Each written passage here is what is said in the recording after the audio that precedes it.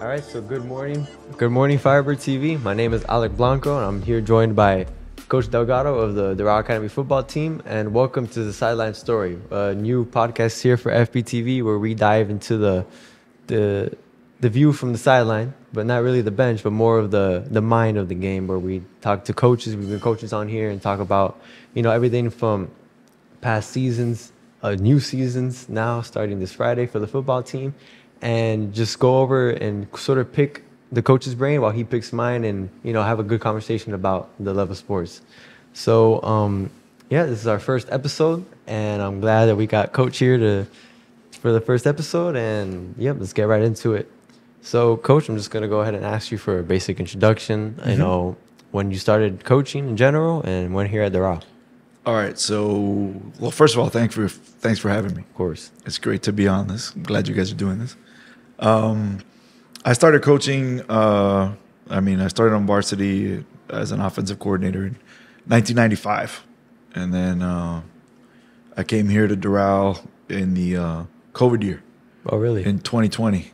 Yeah, that was quite an experience to come Wow. over for the first time. So it was rough. It was rough from every every way possible, right? mm-hmm. Um, but it was a good learning experience. I think everybody uh, took something out of that, and we were able to kind of get things started.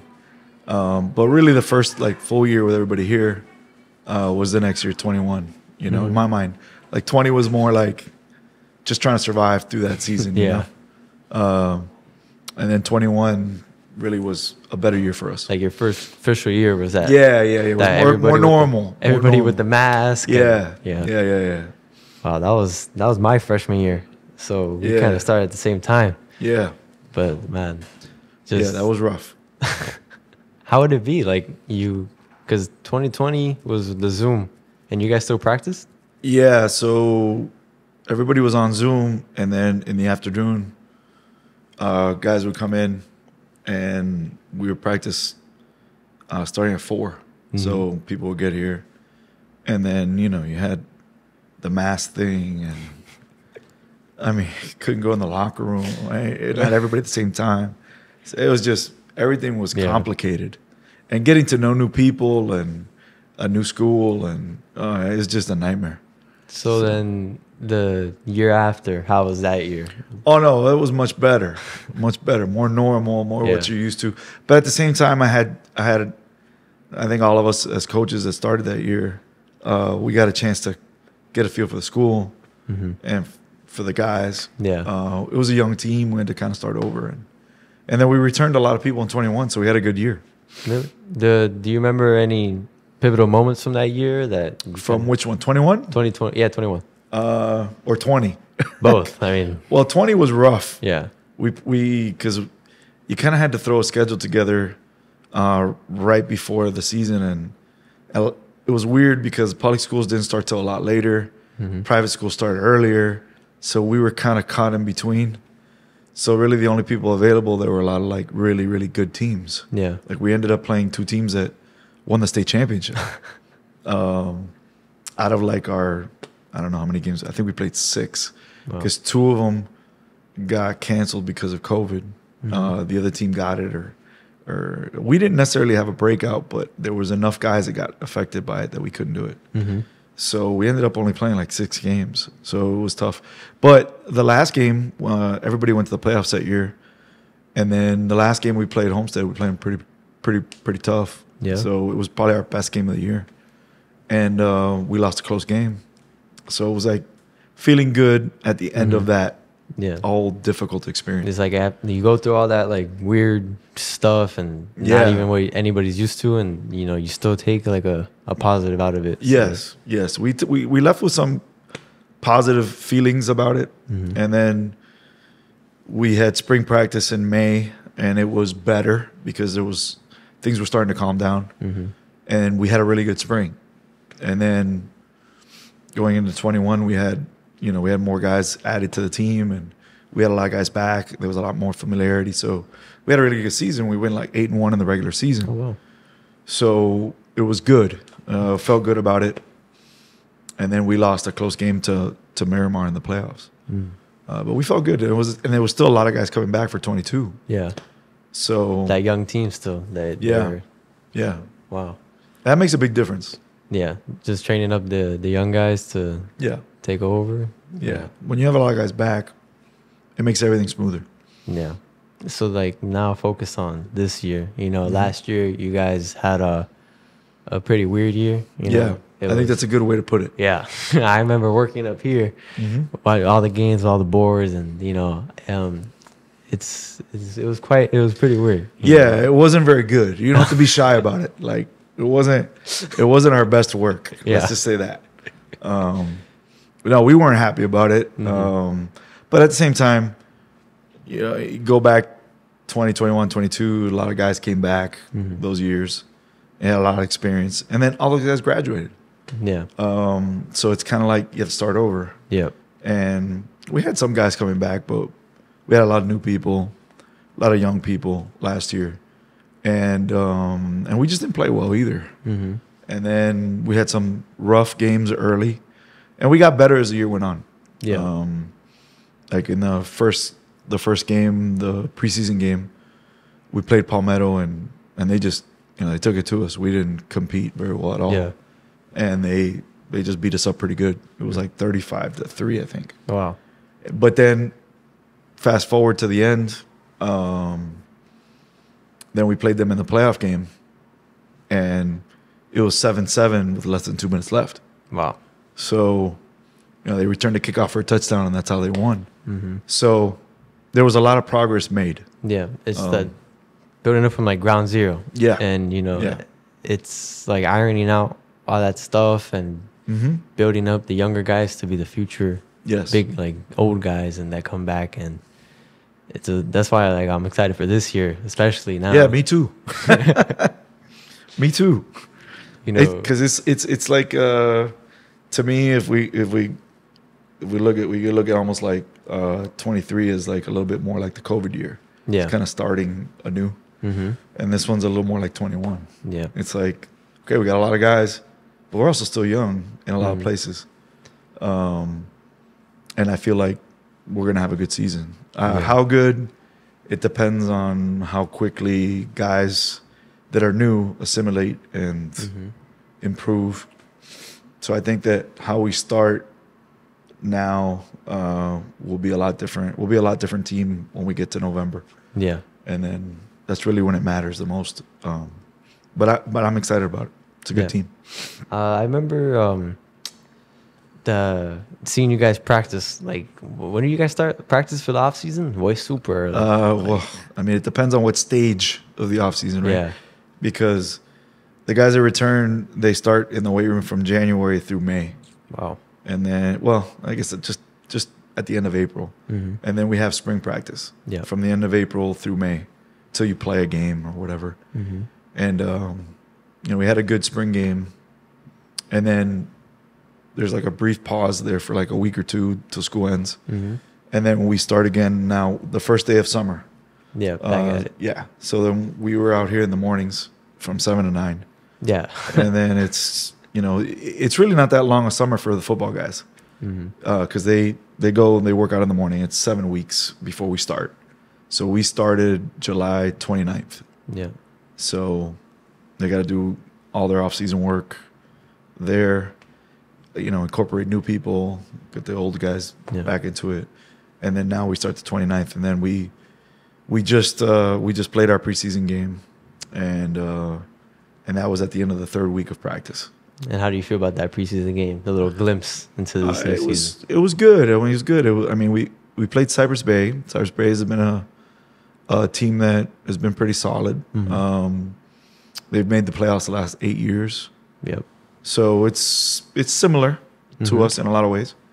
Um, I thought I thought we played really well on offense. Yeah.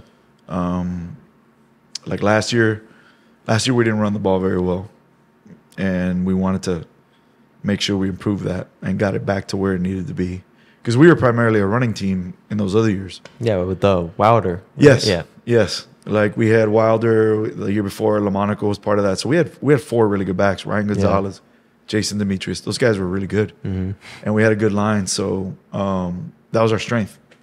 And then last year we just couldn't run the ball very well at all. hmm different things. and we had we had a lot of like turnover on the line. A lot of guys get hurt. Things happen. We had some injuries in the backfield, so Uh-huh. it was like up and down the whole season. Yeah. Um, but we did have like a good good group of um, of like skill guys, like receivers, running backs. Quarterback was a sophomore, so those guys really got a lot better as the season went Yeah, on. they got all that experience. Right. That makes a big difference. Yeah. And then now, now coming into this year, a lot of those guys, they're very familiar with everything, and they've improved a lot. And they had a really good showing the other night. I think uh, like uh, sorry to interrupt, but Yeah. like uh like a big part of that is like that that confidence building. You know, Yeah. you have the sophomore uh, quarterback. The guy has humongous shoes to fill and to Yeah. lead, lead that team, and Yeah. it's I think it's pretty cool to see. You know, well, I'm excited to see how he has this new confidence now. Mhm. You know, in the in this new season, he's a junior. He's had a whole year of experience, the bads and the good. So I Mhm. think that's pretty um pretty cool to see. Yeah. know? Yeah. Yeah. He he really improved a lot as the season went on last year. And then you know, like, there's no substitute for experience, especially Yeah. at that position. That position is tough. So he's he he really had a good game the other night, and and we expect him to have a good season. That's great. Um, another thing that I wanted to ask you is like you yourself as a Mhm. coach, like what's your mindset like as as you organize your team and set them up for success? Um, well, I think the biggest thing is um, making sure that we we we learn our systems both on offense and defense uh, really well Mm-hmm. because it's it's hard it's hard to incorporate new people because they got to learn a lot of things that are new to them. Maybe they didn't do that where they were before. Um, so you got to get all those guys caught up Yeah. and they have to do things the way you want to you want to do it and um, that takes that takes a that takes time Yeah. and that's not easy especially if you want to be successful at the level we want to be Mm-hmm. um, football is a lot of chemistry and a lot of there's a lot more um, um, of a mental side of it than probably most people um, think Yeah. so it takes a little bit to learn what you have to do on on either offense or defense. Same thing. Uh, and really, where we have more new people than anything is on defense. So we got to really replace a lot of guys and incorporate a lot of new people. So it takes them a little bit of time to feel comfortable. And as the season goes on, they get better with that.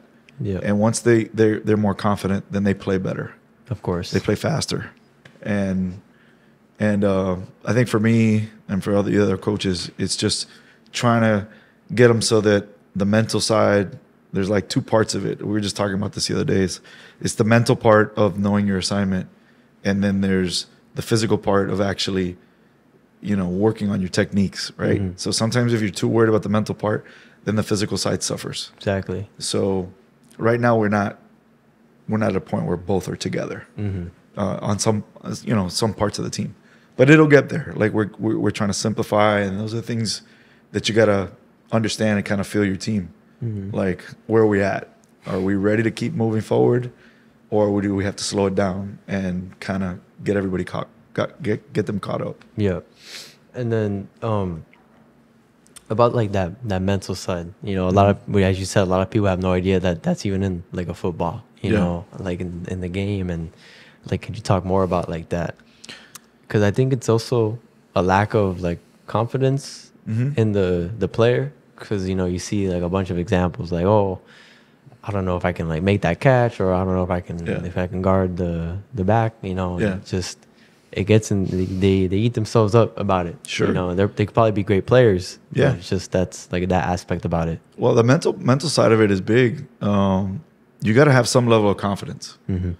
and then it's up to us to kind of build that up even more and make them understand that they're they're not going to do things on their own like this isn't an individual sport right Mhm. you're not out there by yourself Yeah. so you have help you just have to understand where that help is and then for you to do your job you got to feel really comfortable about what it is you you're trying to do and like i said before if, if you if you get the assignment part of it right then the physical will follow Of course. you know and that's that's part of the the coach. I mean, that's part of coaching. I think that's true probably for every sport. Yeah. Is just getting them to feel confident about what they have to do, and so that they execute at a high level when the time comes. So it's up to us to kind of build that up. Mm-hmm. Um, but it's a big part of it is mental Yeah. because if you're gonna, you know, one thing is when you're playing a team and and maybe you're the favorite. Um, you know, some some guys walk out there like, well, I know I'm gonna win, and it's Yeah. it's It's the, There's the a- good a- mental and the yeah. bad mental. It, it, it really takes a lot of discipline to have that same kind of confidence when you're playing somebody you know you're an underdog to. Of course. And you got to have like that toughness to it. Mm-hmm. And that that comes with confidence. Of course. And you got to have faith in the other guys around you. So that's that's part of the process too. Yeah. Um, I wanted to ask you a quick question, like sort of random, but probably what has been your like that one experience that you remember in your all your years of coaching that you're Mhm. like, man, like that's this is what, like why I love doing this. This is like th- that's what you remind yourself with. Yeah. Um, well, I, I mean, I've always been at places where maybe maybe you weren't the, necessarily the favorite. So Mhm. it, like I enjoy being the underdog. Of course. Like I like that. Like I I just enjoy it. And then um, I like it when when guys overcome difficult things. Um, like one of the one of the fun ones was one year when I was when I was in another place. Um, like we were playing Northwestern, Mm-hmm. and they were a pretty big favorite, and um, and we got down twenty eight seven at the start of the third quarter, Wow. and we we were a good team. Mm-hmm. Uh, obviously, so were they. But you know, there's a lot of times where, like I said, like the mental side of it, like where you have the confidence and the toughness, Yeah. Uh, where you don't give in no matter what.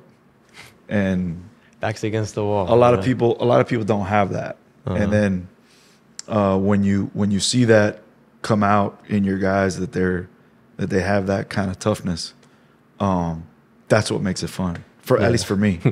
so facing that spot there, there's a tendency for a lot of guys when things are not going their way to point fingers, to blame, Mhm. to complain, to make excuses for whatever.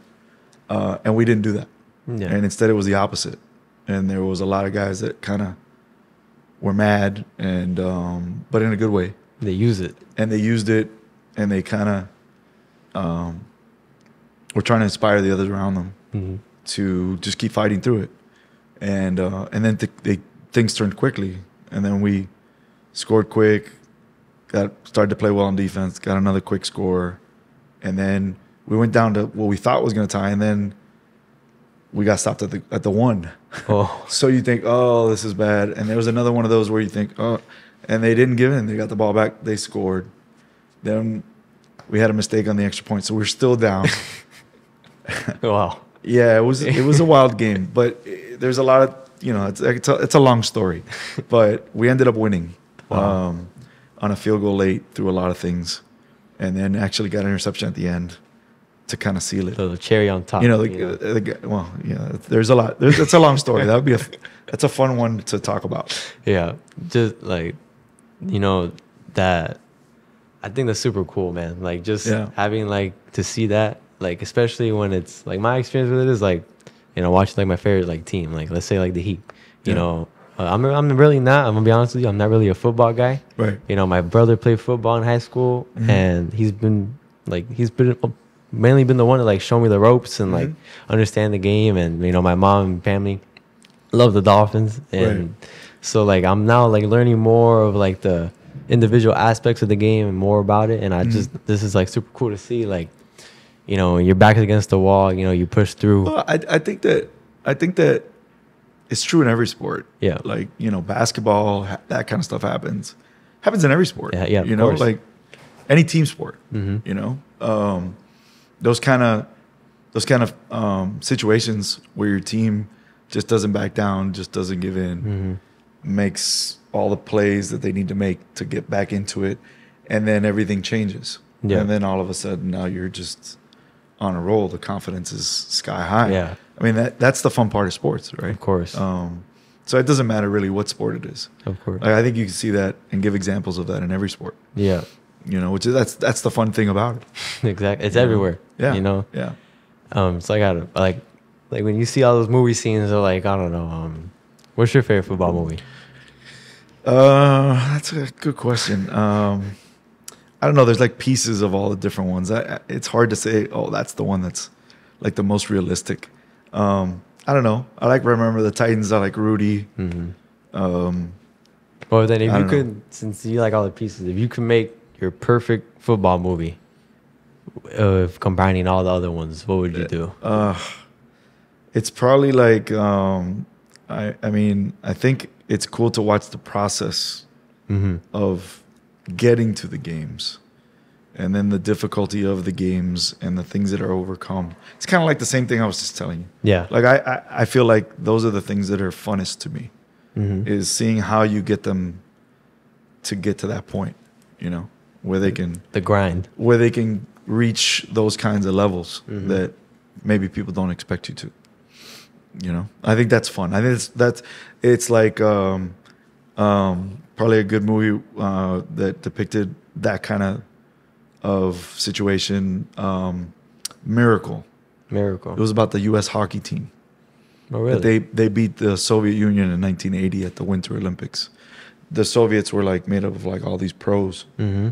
and the the, the U.S. hockey team was a bunch of college kids. Yeah. and they weren't supposed to beat them, and then they did.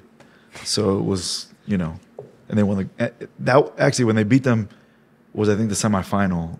It was to get to the gold medal game, Mhm. and then they won the gold.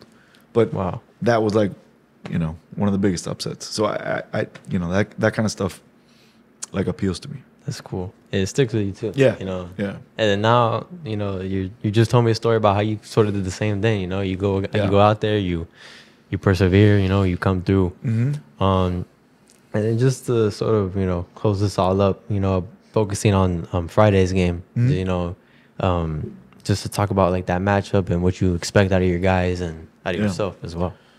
Well, uh, Gulliver Gulliver will have some some good skill players. Mhm. Um, but really, at this time of the year, I'm not so worried, and I and I tell the same thing to the to the players. I'm not so worried about who we play.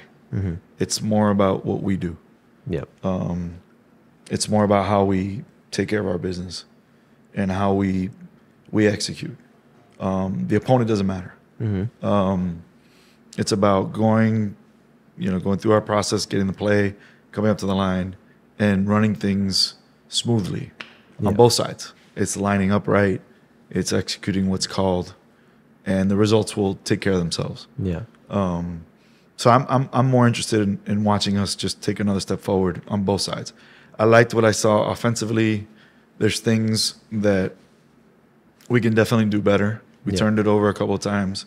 Really wasn't forced by the other team. It's more our own our own fault. So you don't you, you want to stay away from those things. Want to stay away from penalties that can be prevented Yep. um, things like that. And then defensively, you want to line up better. You want to execute your assignments better, um, and then really be better about our technique. And then everything else will Come into place. that'll that'll take care of itself. If you Yeah. do those things right, you're probably going to have good results. And of course. that's that's more of what I want to see. Perfect. Well, Coach, I thank you for your time today. Don't forget to attend the football game Friday at 7, Seven. 7 p.m. Don't forget, buy your tickets. Go support Coach. Now that you see exactly how he's running the show, you you know, you feel a little special now watching the game. And um, I appreciate for your time, Coach. Pick your Thank you. brain. Hopefully we could do this again sometime. Absolutely. Thank you. Thank you guys for watching, and make sure to tune in the next episode. Goodbye.